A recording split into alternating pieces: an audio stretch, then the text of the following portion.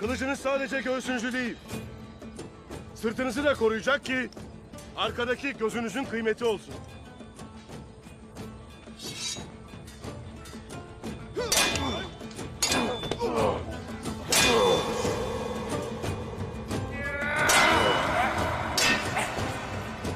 Baba. Sen de babam gibi Zülfikar'ın ustası olacaksın oğlum. Amcaların gibi, deden gibi. Kılıcını adalet için çalacaksın.